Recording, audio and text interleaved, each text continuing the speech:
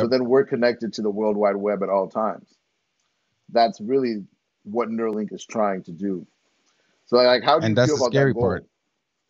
Are you you scared of I the think goal? they put, yeah, being able to, so so being able to connect eh, like the the they're putting these chips in people. Well, they want to put them in people's brains eventually, right? And then Mhm. have them be able to control appliances and all this stuff with, just by th- by their thoughts, right? Yeah. But then they're they're using Bluetooth and they're connected to the internet, I guess, right?